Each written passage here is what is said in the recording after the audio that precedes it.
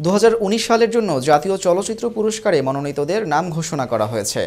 সেরা ছবি হিসেবে দ্বৈতভাবে পুরস্কার পেয়েছে নডরাই ও ফাগুন হাওয়াই সিনেমা। গতকাল তথ্য মন্ত্রণালয় প্রকাশিত এক প্রজ্ঞাপনে এ তথ্য জানানো হয়। এবার সেরা পরিচালক হিসেবে জাতীয় চলচ্চিত্র পুরস্কার ঘরে তুলতে যাচ্ছেন নডরাই সিনেমার তানিম রহমান অংশু। সেরা অভিনেত্রীর পুরস্কারও যাচ্ছে একই সিনেমার ঝুলিতে।